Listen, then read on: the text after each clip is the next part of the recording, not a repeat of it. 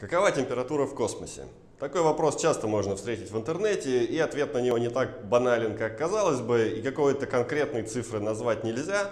Но чтобы понять, в чем причина такой сложности и как, какова температура все-таки в космосе, нужно знать несколько свойств передачи температуры, передачи тепла и холода в космосе.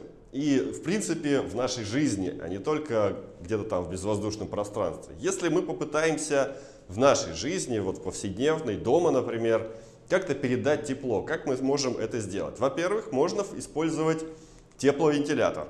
Это так называемая конвекция, то есть это передача тепла через газы или жидкости. Мы, например, э, берем горячую кружку чая, дуем на нее, она становится холодной. Не сразу, конечно, но все-таки. Это конвекция воздухом.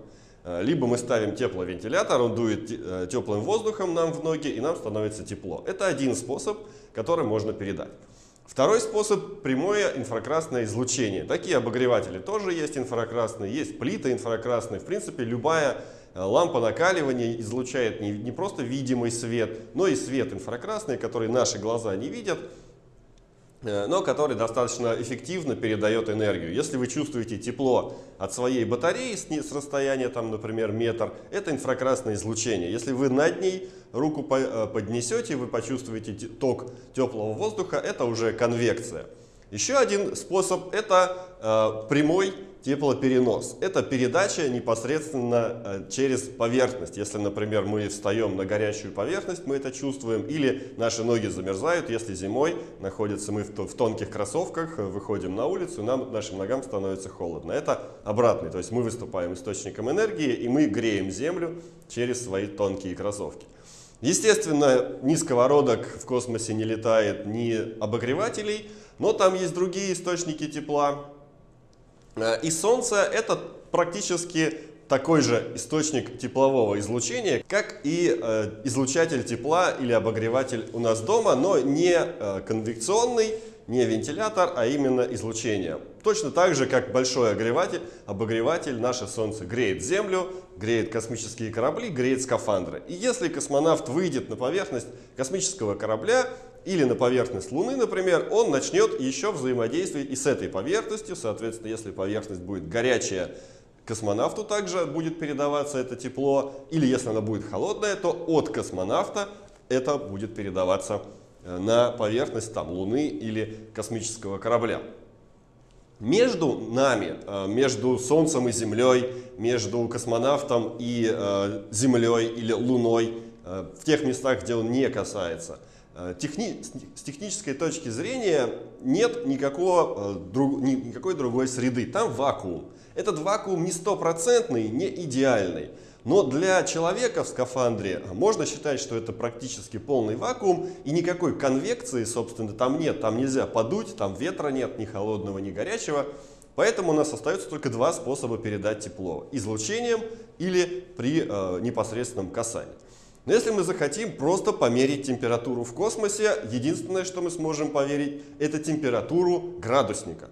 Э, например, мы можем разместить градусник на борту маленького космического аппарата, как вот здесь показан запуск Э, малого спутника. И э, этот спутник будет летать вокруг Земли по собственной орбите, и его градусник будет измерять температуру. И если мы зададимся вопросом, какова будет температура этого градусника или температура этого спутника, мы получим ответ примерно от минус 5 до плюс 45 градусов. То есть в среднем это, в общем-то, комнатная температура, хотя, казалось бы, в космосе или холодно, или горячо должно быть, там же солнце, или вечный вакуум, вечная темнота. А, из-за чего возникает этот перепад? Где минус, где плюс? Минус на теневой стороне Земли, то есть спутник летает вокруг Земли, на низкой околоземной орбите он совершает оборот за 45 минут, точнее 45 минут он идет в тени, 45 минут на свету, 90 минут в сумме его оборот составляет. И э, когда он находится в тени, он уже выступает источником энергии, он уже излучает в окружающее пространство как обогреватель и, соответственно, сам теряет эту энергию и остывает опускается температура до минус 5 градусов. Потом он выходит на солнечную поверхность, она его освещает и он нагревается. Если мы попытаемся измерить тоже, ту же самую, точно так же разместим градусник на Луне э, и попробуем узнать, сколько там будет, то ночью наш градусник опустится где-то до минус 50 или минус 60 градусов. То есть достаточно холодно. Почему? Потому что ночь длится две недели. Не 45 минут, как для нашего космического аппарата, который около Земли летает. Э, не, не, не 12 часов или там поменьше, как для жителей Земли, а две недели, две земные недели. Это много, за это время э, наш э, градусник или наш прибор на, борту, на поверхности Луны сильно остынет до вот минус примерно 50 градусов.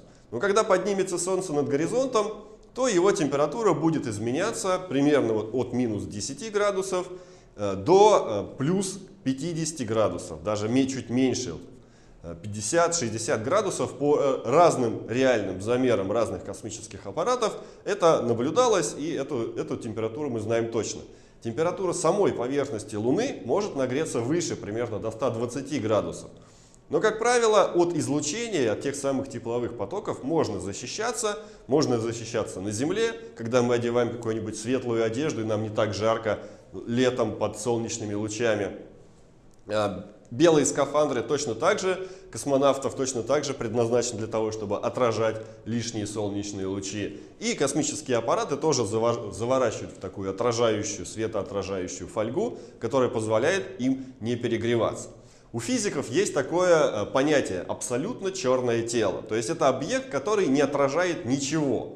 И если мы такое гипотетическое абсолютно черное тело разместим на расстоянии от Солнца, на таком, на каком находится Земля, то это абсолютно черное тело будет держать температуру плюс 4 градуса. То есть те солнечные лучи, которые на него попадут, нагреют его до плюс 4 градуса. И за счет излучения на теневой стороне того же самого теплового излучения абсолютно черное тело будет сбрасывать эту температуру лишнюю, и у нее стабилизируется плюс 4 градуса.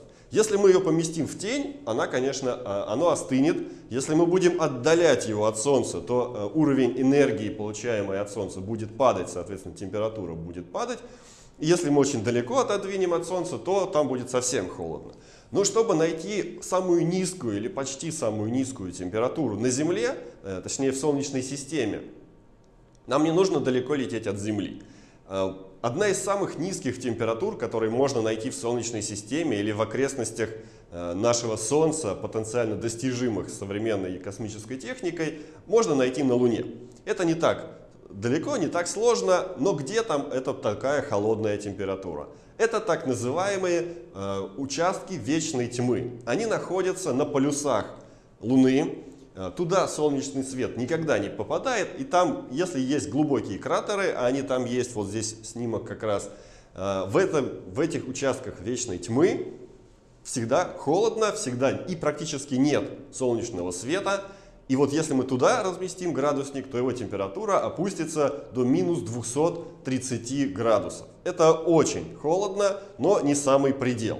Если мы попытаемся найти самое холодное место во Вселенной, или одно из самых холодных мест, то нам придется отлетать очень далеко, даже не то что от Солнца, но и от нашей галактики, и от всех соседних галактик.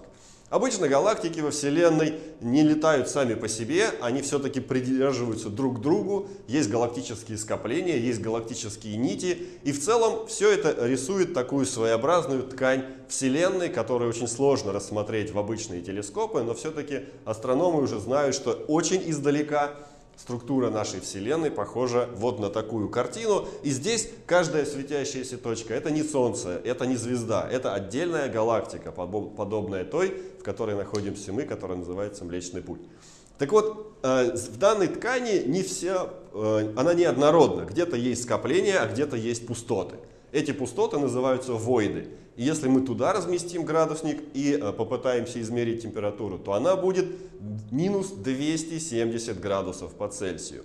Холоднее мы практически не сможем сделать, потому что вся остальная наша Вселенная пропитана еще э, очень древним, но все-таки излучением и очень слабым излучением, так называемое реликтовое излучение. Оно, оно осталось еще со времен Большого Взрыва, и по сути это свет или тепло Большого Взрыва, в котором родилась вся наша Вселенная.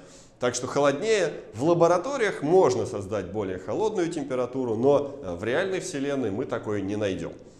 Надеюсь, теперь вы знаете немного больше о тепле в космосе и будете знать, что ответить на этот вопрос.